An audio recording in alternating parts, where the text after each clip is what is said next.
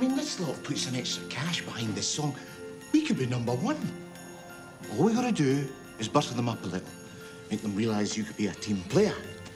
Right, cool. Look, I'm wearing a suit to meet the suits. Here goes. Dave, Mark, Gina, wow, great to see you. I'm Joe. and uh, this is, well, Billy Mack. Hey, Dave, Mark, and Gina. And how old are you, Gina? 12? 13? Actually, I'm 24. How old are you?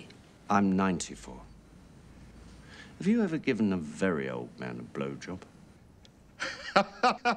Well, uh, I, uh, I, I think we all know why we're here. we, we just need to work out how to make damn sure Christmas is all around reaches number one. Absolutely. Rock on. And I wouldn't mind finding out which of you little fuckers said you'd throw me off the label if the single was a flop.